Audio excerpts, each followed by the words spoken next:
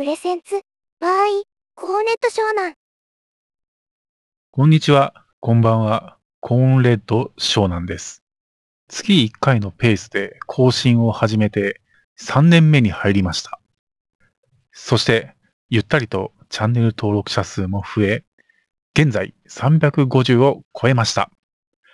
これも皆様のおかげです。ありがとうございます。これまで通り、5スターストーリーズの感想と、ウォーハンマーの動画を中心に更新していきます。だいたい月1で5スターは必ず1本感想を上げて、ウォーハンマーはプレイ動画をたまに上げていく予定です。他にも自作のゲームや地元の名所や江ノ電の動画なんかも上げるかもしれません。よかったら全部見てね。最後に2022年度版の自己紹介です。名前はコーンレッド湘南です。ただの湘南でも構いません。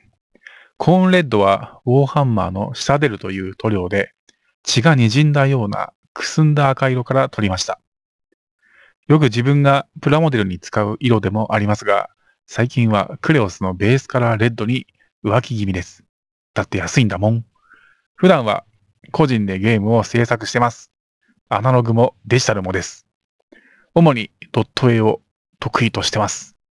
こちらは、えー湘南ロケットやつ名義で委託販売や手売りをしているんで、もし興味がありましたら、ホームページから販売サイトに行けますんで、買ってやってください。趣味は、模型と読書とアニメ、映画鑑賞と、あと、業務スーパーアサリと、ファミレスのフライドポルトを食べ比べですかね。料理も結構好きです。あとは、彼女募集中です。条件は5スターストーリーズが好きで、69歳までの健康な女子なら誰でも OK です。交換日記から始めましょう。交換5スター感想でもなお好ましいです。よろしくお願いします。ちなみにうちのチャンネルの、えー男女視聴率、比率は、えー現在95%以上が男子です。俺はね、残り5%にかけるぜ。それでは他の動画もお楽しみくださいませ。